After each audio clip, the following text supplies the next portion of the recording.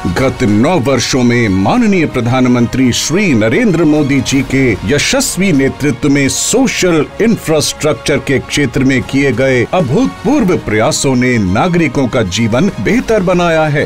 केंद्र सरकार ने राजस्थान में अत्याधुनिक बुनियादी सुविधाएँ प्रदान करने के लिए कई महत्वपूर्ण परियोजनाओं की सौगात दी है। जब सरकार गरीबों के करोड़ों घर बनाती है, मेडिकल कॉलेज बनवाती है सामान्य मानवी से लेकर व्यापार कारोबार करने वालों तक छोटी दुकान लगाने वालों से लेकर बड़ी इंडस्ट्री तक सभी को बल मिलता है।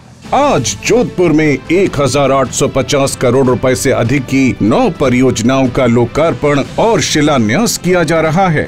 आज देश के प्रतिष्ठित भारतीय प्रौद्योगिकी संस्थान जोधपुर के स्थायी परिसर का लोकार्पण किया जा रहा है, जहाँ छात्र अत्याधुनिक शिक्षण प्राप्त कर सकेंगे। राजस्थान केंद्रीय विश्वविद्यालय अजमेर में छात्रों की सुविधा के लिए योग और खेल भवन, विज्ञान भवन इंस्ट्रूमेंटेशन प्रयोगशाला और स्टाफ क्वार्टर्स का लोकार्पण, पुस्तकालय भवन, छात्रावास और डाइनिंग भवन का शिलान्यास किया जा रहा है। PM Ayushman Bharat health infrastructure mission योजना के अंतर्गत दौसा, बांसवाड़ा श्री गंगानगर अजमेर, जयपुर, उदयपुर और अलवर के जिला अस्पतालों में क्रिटिकल केयर ब्लॉक्स का शिलान्यास किया जा रहा है। आज ही एम्स जोधपुर में इंटीग्रेटेड ट्रॉमा एवं क्रिटिकल केयर ब्लॉक का शिलान्यास किया जा रहा है। यहाँ इमरजेंसी और ट्रॉमा केयर जैसी सुपर स्पेशलिटी सेवाएँ होगी। माननीय प्रधानमंत्री जी के इन प्रयासों से राजस्थान